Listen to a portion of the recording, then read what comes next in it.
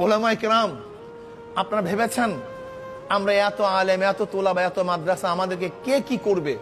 কিচ্ছু না। পায়ের নিচে মাটি আমাদের নাই। আল্লাহর রহমাতে আমরা আসি ঐক্যবদ্ধ হওয়া ছাড়া কোনো উপায় আমি দেখি না। সব জাকাতে, সব কি করতে পারতেছি বলেন তো?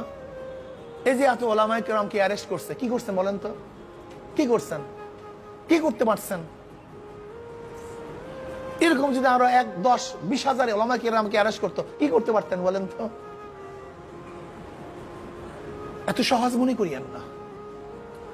অনেক কঠিন মাসালা চলতেছে। আমরা একে অপরের পিছনে লাগছি। চরমনার পিছনে লাগে লাভটা কি বলেন তো?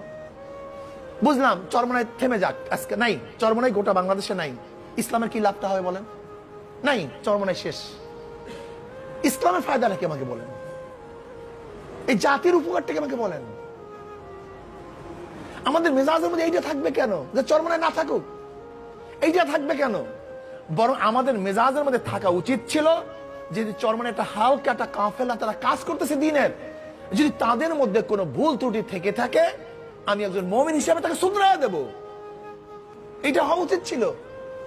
ভুল ত্রুটির ঊর্ধ্বে কোনো মানুষ না। হতেই পারে, থাকতেই পারে। আপনি আলেম আপনার আলিম হিসেবে উচিত ছিল যে, ভাই এইটা ঠিক না। এক মোমেন আর এক মোমেন আয়না স্বরূপ যে, এইটা ঠিক না। এইটা এরকম হওয়া উচিত ছিল।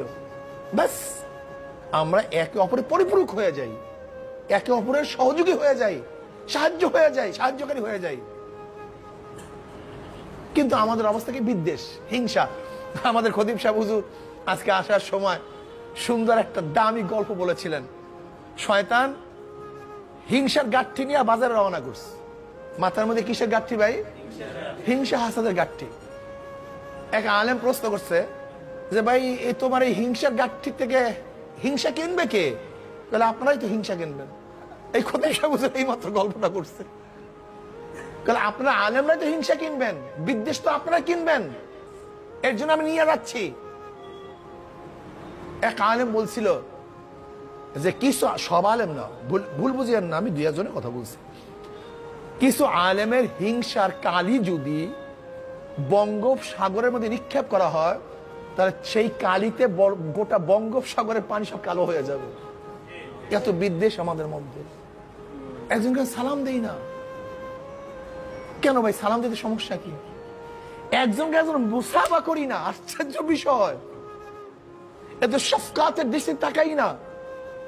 চাহুনি দেই না। একটু আপ্যায়ন করি না। কি অবস্থা? অথচ নবী আলি সাল্লাহ মোর্শেকদেরকে আপ্যায়ন করতেন। নিজের চাদর বিছাইয়া দিতেন। মেহমান নেওয়াজি করতেন। অথচ এতটুকু উলফাত, উনসিয়াত, ওয়াকার আমাদের মধ্যে নাই। কেমন আলেম হলাম আমরা? আলেম হয়েছে বিদ্বেষের জন্য। আলেম হয়েছে একজন ঘৃণা করার জন্য। আলেম হয়েছে আরেকজন হাসাত করার জন্য।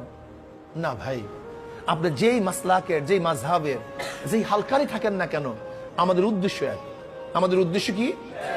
জোরে বলেন, উদ্দেশ্য কি ভাই? আমার সবাই জান্নাতে যেতে চাই। আমি আজকে বলছি, ওই যে আমাদের এখানে ওই মাদ্রাসা, কোন মাদ্রাসা ছিলাম? আলামী মাদ্রাসায়। আমি ওখানে আপোসের মধ্যে বলছিলাম, যদি একজন ব্যক্তিকে নামাজি বানানোই আমার উদ্দেশ্য হয়, তাহলে যার দ্বারা ব্যক্তি নামাজি হবে সেই তো আমার আপন। আমার মাধ্যমে হতে হবে কেন? আমার দ্বারাই হতে হবে কেন? উদ্দেশ্য হলো নামাজি বানানো। যার দ্বারা নামাজি হয়, আলহামদুলিল্লাহ। সেখানে অনেক কথা হয়েছিল যে, আমার কাজটা যদি কেউ করে, কেউ যদি মাদ্রাসার মধ্যে আলেম তৈয়ার করে সেটা আমার কাজ না? সমস্যা কি? কাজে আমি ওলামাই কেরামকে বলব, যেই কথা খতিব সাহেব, হুজুর সহ ওলামাই কেরাম বলেছেন, বর্তমানে চরমনাই প্ল্যাটফর্মের মাধ্যমে আল্লাপাক কিছু খ্যাতমত নিচ্ছেন। আমি মনে করি যদি ওলামাই কেরাম সংযুক্ত হন সংযুক্ত হন, আমি আল্লাহর রহমানের ভরসা করে বলতে পারি। আমি আল্লাহ পাকের রহমানের ভরসা করে বলতে পারি। ওলামাই কেরাম যদি সংযুক্ত হন তাই বাংলাদেশে বাতেল পন্থীর ইসলামের বিরুদ্ধে আইন করা সাহস পাবে না। আল্লাহ রহমানের ভরসা করে বলতে পারি। যদি একটু সংযুক্ত হন, সবাই মাঠে নামতে ব্যাপারটা এরকম না। সবাই কি কাজ করতে ব্যাপারটা এরকম না? যে যেখানে আসি সেখান থেকে তাউন করি। সেখান থেকে আমরা সাহায্য করি, সহযোগিতা করি। আপুসের মধ্যে মহাব্বাত রাখি, ভালোবাসা সৃষ্টি করি। একে আর এক জায়গায় যাই, আপনার কাছে আমার যেতে অসুবিধা কি? আপনার আমার কাছে আসতে অসুবিধা কি? যদি আমাদের আপুসের মধ্যে চলাফেরা, আসা যাওয়াটা বাড়তে থাকে, তাহলে ভুল ত্রুটিও ধরা পড়বে, শুধরাবার সুযোগ হবে। কি কথা, ঠিক না ভাই? এর জন্য আমি মনে করি ওলামাই কেরামের, ওলামা মাসায় আইম্মা পরিষদের কাজ হলো হরকত করা।